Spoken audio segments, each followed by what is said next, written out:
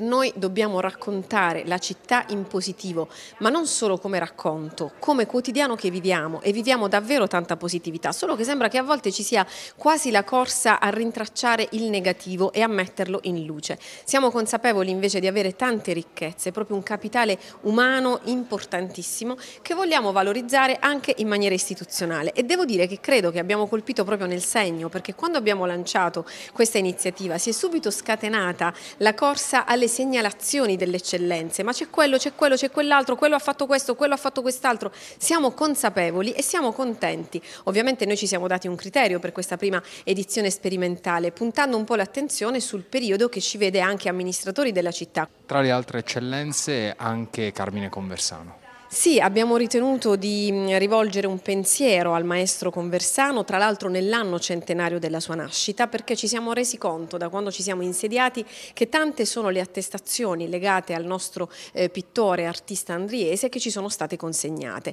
e ci siamo altrettanto resi conto di quanto poco conosciuta sia questa figura rispetto invece al valore che ha profuso durante la sua attività artistica. Tra l'altro una persona che davvero si è fatta da solo dal punto di vista artistico, un autodidatta, motivo per cui ci teniamo a chiamarlo maestro piuttosto che professore o piuttosto che con altri titoli. Oggi stiamo dando plasticamente senso anche a quella che è il nome della mia delega, l'assessorato alle radici. Chi meglio di queste eccellenze, che è una prima tappa, una prima fase, perché la festa delle eccellenze, comunque il riconoscimento di queste eccellenze durerà nel tempo, ogni anno, ma probabilmente anche quest'anno si vedrà una doppia edizione. Perché queste sono attività che hanno rappresentato la storia, l'identità di un territorio e non a caso per esempio tutte queste attività sono circoscritte all'interno del centro storico eh, perché negli anni, nel tempo hanno resistito anche quello che è il concetto di globalizzazione di tipo tipo economico, quindi loro come piccolo commercio hanno dovuto affrontare sfide importanti, hanno resistito, hanno resistito nel tempo